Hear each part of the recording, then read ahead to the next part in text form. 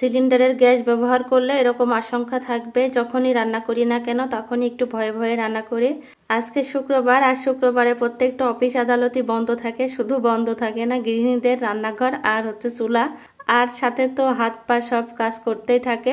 ছুটির দিনে কি কি হচ্ছে রান্না বান্না করেছি, তারপরে কি কি কাজ করলাম সব কিছু নিয়ে ভিডিওটা সাজানো হয়েছে। সবাই স্কিপ না করে একটা লাইক দিয়ে পুরো ভিডিওটা দেখবেন। হ্যালো এভরিওয়ান আসসালামু আলাইকুম।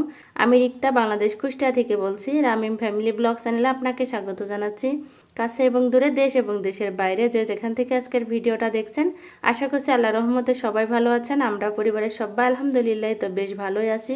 আজকে সকালটা একদম অন্যভাবে শুরু করলাম। ঘুম থেকে উঠেছি একটু দেরি করে। একটু দেরি মানে হচ্ছে আটটা বাজে আর ঘুম থেকে উঠেই আমি হচ্ছে কিছু জামা কাপড় তারপরে পাপোশ এগুলো ভিজিয়ে দিয়েছি। তারপরে চলে আসলাম রান্নাঘরে নাস্তা বানানোর জন্য। আজকে একদম সংক্ষেপে নাস্তা বানাবো। আজকে ভাবছি একটু হচ্ছে দুধ চা বানাবো সকালে খাওয়ার জন্য। যদিও সকালে দুধ চা খাওয়া স্বাস্থ্যসম্মত না, তবে আজকে কেন জানি ইচ্ছে করছে খেতে। আর দুধ চা আমরা তেমন খাইও না, মাঝে মধ্যে খাই যখন ইচ্ছে করে। আর আজকে একদম নাস্তা যে বললাম সিম্পলভাবে বানাবো। আজকে পাউরুটি ভেজে নিব। দুইটা ডিম ভেঙে দিয়েছি।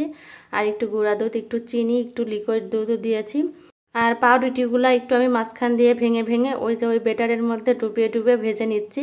আর একটু হচ্ছে ঘি দিয়েছি। ঘি দিয়ে ভাজলে ফ্লেভারটা অনেক বেশি সুন্দর হয়। আর আমার হাতে বানানো অনেকটা ঘি আছে।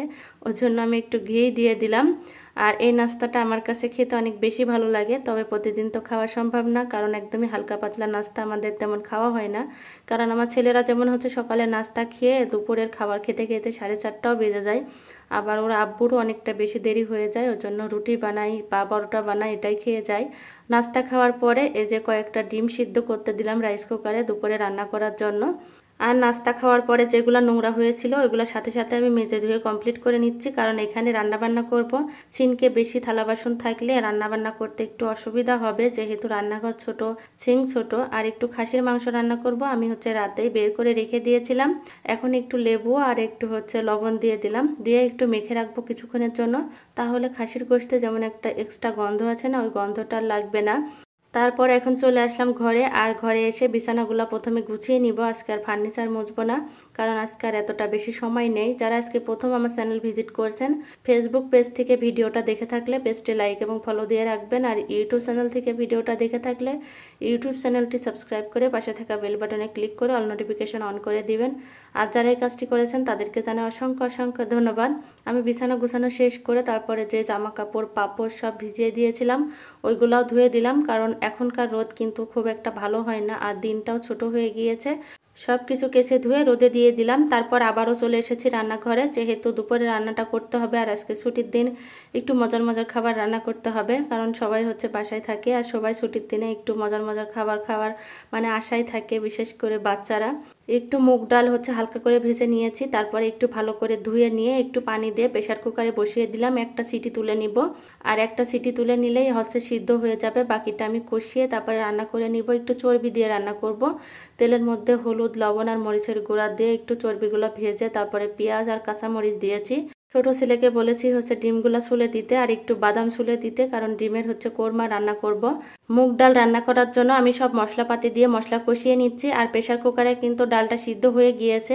একটা সিটি উঠতে কিন্তু বেশি একটা সময় লাগে না। এখানে মাংস রান্না করতে যা যা মশলা লাগে আমি সমস্ত মশলাই দিয়ে দিচ্ছি, দিয়ে ভালো করে মশলাটা একটু সময় নিয়ে কষিয়ে নিব। আর এই যে খাসির মাংসের মধ্যে লেবু আর লবণ দিয়ে রেখেছিলাম, দেখেন পানিটা কেমন হয়ে গিয়েছে। এখন মাংসটাও আমি ধুয়ে নিব।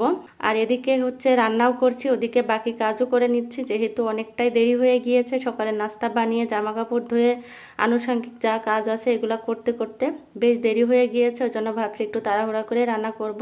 শুক্রবারেও কিন্তু মেয়েদের কোনো ছুটি নেই। আর শুক্রবারে আমার কাছে মনে হয় একটু কাজ বেশি হয়। সব অফিস আদালত বন্ধ থাকে, কিন্তু ছুটির দিনে মেয়েদের রান্নাঘর আর বন্ধ থাকে না। রান্নাঘরে কাজ আরও বেশি চলে। মুগ ডালটা আমি কিন্তু হচ্ছে কষিয়ে ঝোলের পানি দিয়ে পাশের চুলায় হচ্ছে বসিয়ে রেখেছি, আস্তে আস্তে হতে থাক। আর এই চুলাতে আমি হচ্ছে খাসির মাংস রান্না করব প্রেশার কুকারে। সমস্ত মশলা দিয়ে মশলা কষিয়ে তারপরে হচ্ছে গোস্তগুলা দিয়ে দিয়েছি। আমার কাছে মনে হয় প্রেশার কুকারে মাংস রান্না করলে খেতে একদম ভালো লাগে না, তবে একদমই সময় নেই আর আজকে খড়ির চুলাতেও আমি রান্না করব না। খড়ির চুলাতে রান্না করতে গেলে একটু সময় লাগে, সবকিছু গুছিয়ে ওদিকে নিয়ে যাওয়া। ওই জন্য ভাবলাম আজকে একটু প্রেশার কুকারে রান্না করি। মুগ ডালে আমি একটু হচ্ছে ভাজা জিরার গুঁড়া দিয়ে দিয়েছি আর ডিমের কোরমা করার জন্য জন্য ডিমগুলো কাটা চামচ দিয়ে একটু ফোটা করে নিয়েছি যেন মশলাপাতি ভালো মতো ঢুকে যায়। আর খাসির গোস্ত আমি হচ্ছে আলু দিব ওই জন্য আলু, হলুদ, লবণ আর মরিচের গুঁড়া দিয়ে একটু ভেজে নিয়েছি। আর ওই যে একটু পেঁয়াজ বেরেস্তা করেছি ডিমের কোরমা রান্না করার জন্য, তারপরে ওই তেলে আমি ডিমগুলো একটু হালকা করে ভেজে নিচ্ছি, বেশি না, সামান্য। তারপরে ওই তেলের মধ্যে কিছুটা আমি ঘি দিয়ে দিচ্ছি। ঘি দিয়ে দেওয়ার পরে পেঁয়াজ, রসুন আর বাদাম আমি একসাথে করে ব্লেন্ডার করে নিয়েছিলাম। তারপরে একটু আদা বাটা দিয়েছি, তারপরে এখানে হচ্ছে মরিচের গুঁড়া, ধনিয়ার গুঁড়া, জিরার গুঁড়া, গরম মশলার গুঁড়া দিব। আর একটু হচ্ছে রোস্ট মশলা না, বিরিয়ানির মশলা ছিল, আমি হচ্ছে সঠিক মনে করতে পারছি না, একটু দিয়ে দিলাম। আর একটু টক দই দিয়ে হচ্ছে মশলাটা আমি কষাতে থাকব। আর খাসির গোস্তটা আমি হচ্ছে দুই তিনটা সিটি তুলে, তারপরে প্রেশার কুকারের ঢাকনাটা খুলে ভেজে রাখা আলুগুলা দিয়ে দিলাম। এখন আবারও দুই তিনটা সিটি তুলে নিব। একসঙ্গে আলু আর হচ্ছে মাংস দিলে আলুগুলো একদম সিদ্ধ হয়ে যায়। আর আমি একটু হচ্ছে মুরগির মাংস ম্যারিনেশন করে রেখে দিব। এটা হচ্ছে বোনলেস চিকেন একদম চিকন চিকন করে কেটে ধুয়ে তারপরে একদম পানি ঝরিয়ে নিয়েছি। তারপরে এখানে হচ্ছে মশলাপাতি দিয়ে নিয়েছি। দিয়ে এই যে ভালো করে মেখে বক্সে করে রেখে দিব। যখন ইচ্ছা তখন বের করে এটা সেটা করা যায়। আর এদিকে হচ্ছে কোরমার জন্য মশলাটা একদম কষানো হয়ে গিয়েছে। আমি ডিমগুলা দিয়ে দিয়েছি। দিয়ে একদম ঘন করে হচ্ছে দুধ জাল করে রেখেছিলাম। সহ সহ সেগুলা দিয়ে দিয়েছি। হাঁড়িটা ধুয়ে একটু হচ্ছে পানি দিয়েছি, রান্না হতে থাক। আর আমি একটু পোলাও রান্না করব। সাদা পোলাও একদম সিম্পলভাবে আজকে ভেজে রান্না করব না, একদমই হাতে সময় নেই। আমি একটু পানি ফোটাতে দিয়েছিলাম। তো পানির মধ্যে হচ্ছে তেল দিয়েছি, ঘি, একটু মশলা, আদা, রসুন বাটা। পানি ফুটে যাওয়ার পরে আমি পোলার চালগুলা দিয়ে দিয়েছি। আগের থেকে ধুয়ে রেখেছিলাম, তারপরে কাঁচামরিচ দিয়েছি। আর এই যে কোরমার মধ্যে আমি হচ্ছে কাঁচামরিচ আর একটু চিনি দিয়েছিলাম। দেওয়ার পরে আমার হচ্ছে গ্যাস শেষ হয়ে গিয়েছে, চুলাটা বন্ধ করে রেখেছি। আর আমার ছেলেকে বললাম যে আমাদের গাছের একটা লেবু আনতে, কারণ পোলার সাথে তো লেবু লাগবে। লেবু যদিও ঘরে ছিল, তবে টাটকাটা খাওয়ার জন্য আমি আনতে বলেছি। তো ছাদ থেকে একটা লেবু নিয়ে এসেছে। আমি লেবু, পেঁয়াজ শশা সব কিছু কেটে রেখে দিলাম, যেহেতু গ্যাস নেই। যে থালা বাসনগুলো নোংরা হয়েছিল ওইগুলো আমি মেজে ধুয়ে নিয়েছি। আর এই যে এরই মাঝে গ্যাসও নিয়ে এসেছে। গ্যাস আমাদের এখান থেকে আনতে বেশি সময় লাগে না। দুই তিন মিনিট সময় লাগে, একদম কাছেই দোকান আছে। আর সিলিন্ডার গ্যাসে রান্না করতে হলে এই আশঙ্কাটা কিন্তু থাকবে যে কখন শেষ হয়ে যায় না যায়। আমি আজকে কিন্তু রান্না করতে করতে বলছিলাম যে গ্যাস হয়তো শেষ হয়ে যাবে, শেষের দিকে একটু পাতিলে কালি কালি হয়।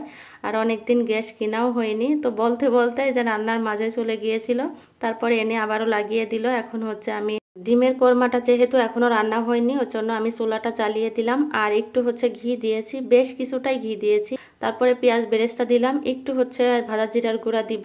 দিয়ে আরও হচ্ছে কিছুক্ষণ রান্না করব। মানে পাঁচ মিনিটের মধ্যে চুলাটা একদম লো ফ্লেমে রেখে দিব। আর আমি একটু হচ্ছে ছোট্ট ছোট্ট ইলিশ মাছ ভাজি করব, আর একটা বেগুন ভাজি করব। তো বেগুনও কেটে নিয়েছি মাছগুলো পরিষ্কার করে ধুয়ে নিয়েছি। একটু হলুদ মরিচ আর লবণ দিয়ে হচ্ছে ভালো করে মেখে এখন রেখে দিব, কারণ এগুলো গরম গরম খেতে বেশি মজা লাগে, খাওয়ার আগে হচ্ছে ভেজে নিব। তো রেডি করে রেখে দিয়েছি, আর খাসির মাংসটাও হয়ে গিয়েছে। আর একটু হচ্ছে গরম মশলার গুঁড়া আর একটু ভাজা জিরার গুঁড়া দিয়ে কিছুক্ষণ হচ্ছে ফুটিয়ে রেখে দিব। আর আজকে যেহেতু শুক্রবার ছিল আজানো হয়ে গিয়েছে আর রান্নাঘরটাও আমি কিন্তু পরিষ্কার করে নিয়েছি। এখন হচ্ছে বাকি কাজগুলো আমি কমপ্লিট করে নিয়েছি, ঘর মোছা, বাথরুম ধোয়া। আরও কিন্তু টুকটাক অনেক কাজ থাকে, সব কাজ তো দেখানো হয়নি। তো গোসল করার পরে আবারও কিছু জামা কাপড় ধুয়ে দিয়েছি ছেলেদের। তো ওইগুলো হচ্ছে রোদে দিয়ে দিলাম।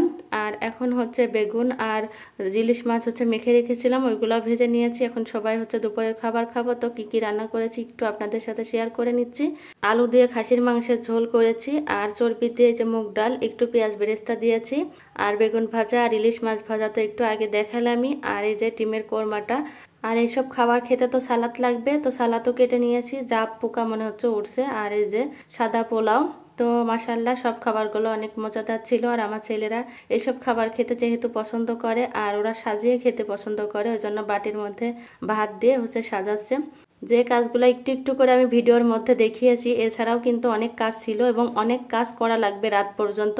যেমন খাওয়া দাওয়ার পরে যে থালা বাসন হয়েছে, এগুলো হচ্ছে পরিষ্কার করতে হবে, খাবার দাবার ঠিক করে রাখতে হবে, টেবিল মুছানো, তারপরে যে জামা কাপড় ধুয়ে দিয়েছিলাম, এগুলো শুকানোর পরে শুকনাগুলা ভাজ করে রাখতে হবে, ভিজাগুলো আলাদা করে রাখতে হবে, যেগুলো আয়রন করার দরকার, ওইগুলো আয়রন করতে হবে।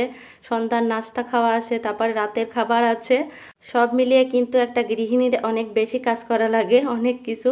তো দেখেন, আমার ছেলেরা অনেক খুশির সাথে খাচ্ছে আর আমি আর ভিডিও করব না। যদি আমি সন্ধ্যা পর্যন্ত ভিডিও করতে যাই ভিডিওটা আরও বেশি বড় হয়ে যাবে, এমনিতে অনেক বেশি বড় হয়ে গিয়েছে। প্লিজ সবাই দেখবেন, কষ্ট করে। আর ভিডিওটা কেমন হয়েছে অবশ্যই কমেন্ট করে জানাবেন।